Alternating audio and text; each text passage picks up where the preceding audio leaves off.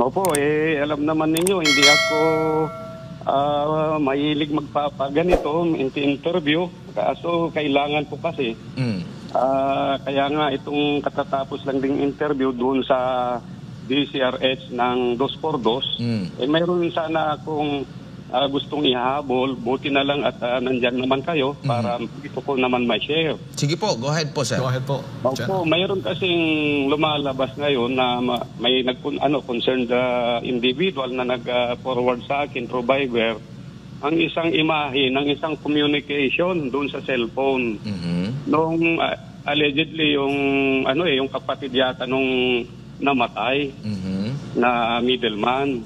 Kapatid na babae ng middleman sa lapid case. Ah, ito, nangangamba ang kapatid para sa buhay, yung ganon. Mhm, Tama po. At ah, kung ito, papadala ko rin sa inyo, ang date ng pagkaka-text o kaya communication nung namatay na Bilyam, kung siya ngayon, ay October 20 ang date. Opo. Samantalang namatay siya noong October 18. Mm. Paano nangyari na nagkaroon pa sila ng communication ng 20? Mhm. So yun nga Ano po po yung eh? ano. Oo, para kung di ako nagkakamali, ah, yan po yung sa report no ng ah, ah, ABS-CBN um, nung nag ah, nag-exclusive interview sila doon sa sinasabing ah, kapatid, babaeng ah, kapatid di umano nitong ah, namatay. Na Marisa. ngayon ay hawak ata ng ah, Department of Justice at mapapansin nga natin sa taas na bahagi no sa ah, upper left corner no ng ah, kuha October 20 paano siya nakakapag-text? Kasi inamin din niya daw, uh, General, na merong cellphone daw yung kapatid talaga niya kahit nasa loob ng bilibid kaya nakakapag-text pa sila. Pero kapansan-pansin, October 18 namatay yung uh, sinasabing kapatid niya pero October 20 na-receive niya yung text. Yun din yung uh, inaantay natin yung sagot kung uh, masasagot ba nila itong uh, uh, napansin po uh, ninyo din, uh, General. Pero hindi rin nakakapagtaka pagdating sa mga kalokohan ng mga ah, loob ng pulungan ng Bucor. Mhm. Hindi na, although hindi naman lahat. Yung iba naman doon ay gustong mag, ah, ano, magbagong buhay. Mhm. Pero yung iba doon, sabi ko nga, nung nakaraan, may na, nahuli tayo gumamit na nagpapanggap na siya daw si Vic ah, Rodriguez. Mhm. Nag, ah, humihingi ng pera.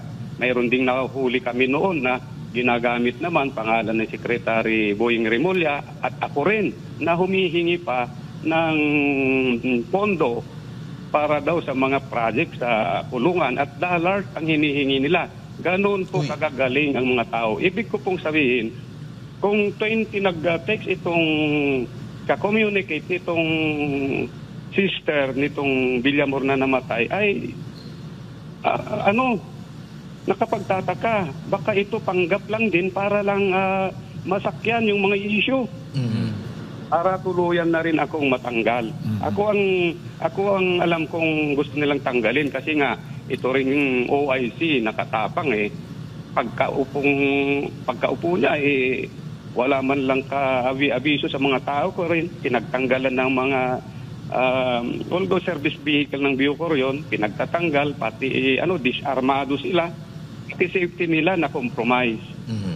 So, ang gusto ko lang itanong din sa PNP na sila ang lead investigator sa kaso ng lapid ah, ano incident o killing. Bakit ako lang ang tuon ng pansin nila? Il- 160 person of interest. Mhm. Nanood naman din ako sa iba dahil nga nagkaroon ako ng interest na rin dyan. Ang dami pala niyang binanatan. Bakit ako lang ang inilalabas? Dahil ba hindi kaya ng PNP yung mga yun? Mhm. Dahil ba malalaking tao kaysa sa akin? Hindi ko ano eh, puro na lang tayo katanungan kasi dahil wala naman akong magagawa kundi magtanong na lang.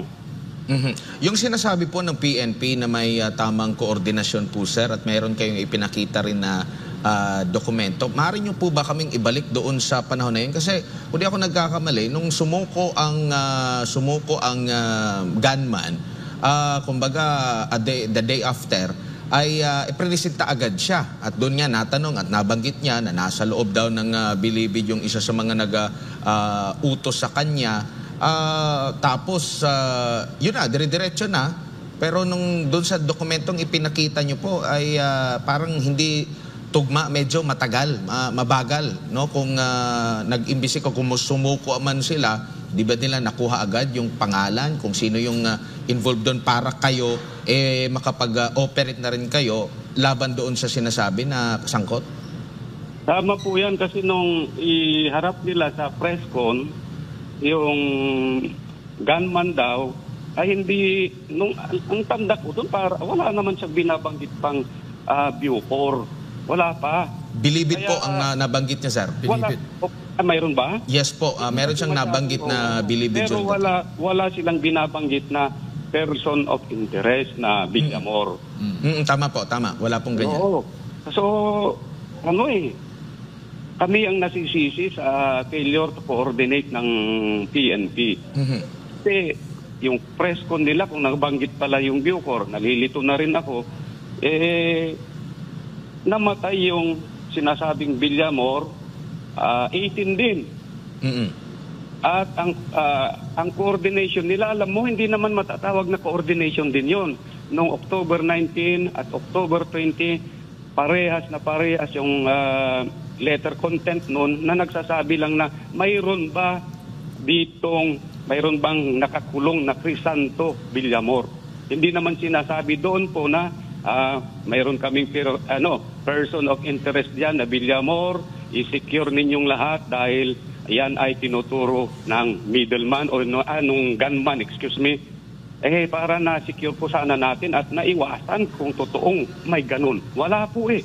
Mhm. Walang coordination. Eh, Namat- palagi kong Ah. uulitin dahil nga pinagbigyan ko sila na maglabas kung gusto nilang ilabas para sana ah, hindi hindi tayo makialam kung ano yung investigation. Kaso nga lang, palagi na lang kami ang sinisising walang coordination. Hindi po totoo na may coordination. Pumunta lang sila nung 19 at 20 para magtanong kung may Crisanto Villamor period. Yun nga yung ah, ano sir, kasi kung October 16 nag-surrender itong ah, ah, ah, suspect na ito or earlier pa, bakit hindi agad doon eh nakipag-ugnayan, umabot pa sa punto na iprinisinta pa siya sa media, Ah, after nung iprinisinta siya sa media, the next day ata is ah, tsaka nag-message sa inyo or nagbigay ng sulat ah, 19, nagtatanong kung meron bang krisanto dyan sa loob ng ah, ah, Bilibid. Pero yung namatay na June Global Villamor, eh 18 pa ah, namatay. Tapos nag-reply kayo ah, the next day na 20 na walang ganitong pangalan. Tama po yun kasi wala akong kaalam-alam talaga at ah, na napanood siguro nyo, narinig rin ninyo si Secretary Remulla na sinasabing hindi rin siya na-informahan. Mm. To put the words exactly of the good secretary, sabi niya, I, I am put in, in the dark. Sabi niya, nung kami-kami lang nag, ah, nagmi-meeting. Kasi sabi niya, hindi naman sinasabi sa akin to. Ang sinasabi, BJMP. Ganon. Ang sinasabi daw sa kanya ay BJMP, hindi pa Bucor. Mhm. Ganon ka saklap kasi kausap na nila si Secretary ng Department of Justice na under niya ang Bucor, hindi sinasabi sa kanila ay sa kanya mismo na mayroon kaming person of interest sa Bucor. Ang sinasabi daw sa kanya is BJMP. Pwede niyo siyang i-follow up interview dyan Mm. para maliwanagan din ang ano ang sinasabi against sa secretary. Eh, kaming ano dito ang napapahamak eh dahil kami ang sinisisi. Pero ang challenge ko dito, sino pa ba yung mga sinasabing 159? Kasi sabi nila 160, eh di 160 na ako. Nasaan yung 159? Sino ba yung mga yon? Unfair eh. Di ba? Well, um, General, uh, sa gitna nga ng mga sangasangang kwento uh, tungkol dito sa pagkamatay nga ni uh, Percy Lapid at uh, maging uh, pag, uh, pagkamatay din ng uh, middleman dyan sa loob ng uh, Bilibid, eh, sa tingin ho ninyo, eh, naniniwala kayo na talagang itong pagkakasuspindi ninyo, eh, may meron talagang uh, somebody na gusto talagang uh, kayo uh, paalisin dyan sa loob ng uh, Bilibid? Ano yon crystal clear na gusto talaga akong tanggalin lang dito kasi sabi ko nga as early as August itong si Katapang na yan gusto na nil- nilang ipalit sa akin kung sino yung gustong magpalit. So, yan ang siguro, siguro lang nagkaroon ng butas o nagkaroon siguro sila ng, hindi ko alam, ano, mahihirap kasi mag-accuse eh. Pero drug lords ang mga behind dito rin, nasuspecha ko. Parehas lang kami ni Senator Bato na tinutukoy niya is mga drug lords.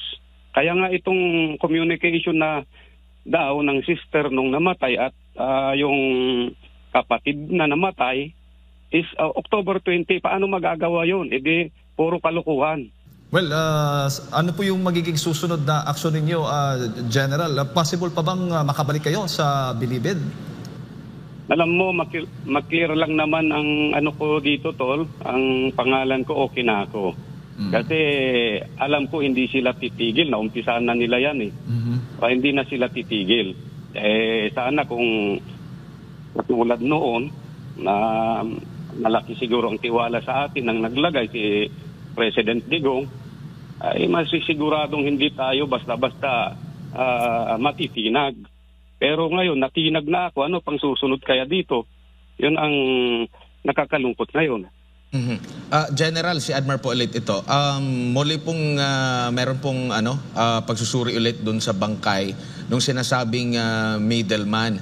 Kumbaga parang dissatisfied ata yung pamilya doon sa kinandak na autopsy, doon sa NBI. Ano bang masasabi mo rito, ah, General?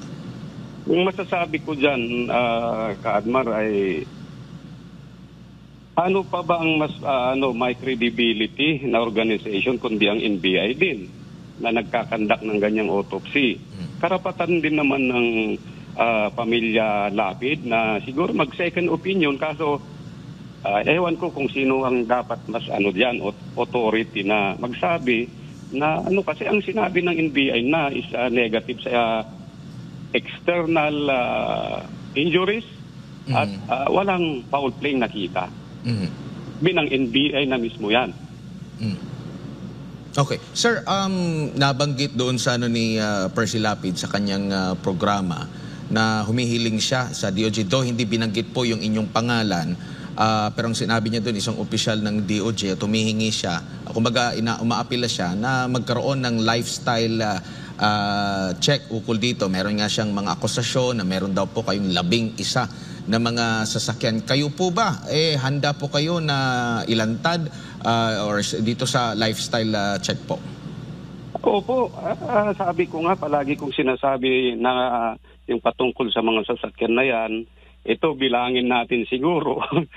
Anim, galing sa Bucor, apat na Innova, dalawang Grandia, puti at itim, yung personal ko, kung sa anak ko, di ba? Mm.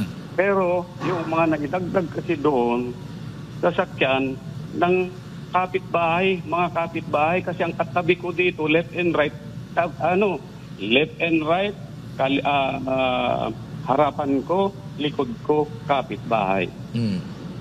Pero yung mga sasakyan na yun, sir, na sinasabi niyo pong escort, hindi po nakapangalan sa inyo, nakapangalan po yun sa Bucor. Opo, sa Bucor talaga at binawi ka agad yan ni yung magaling na si Katapang. Mm.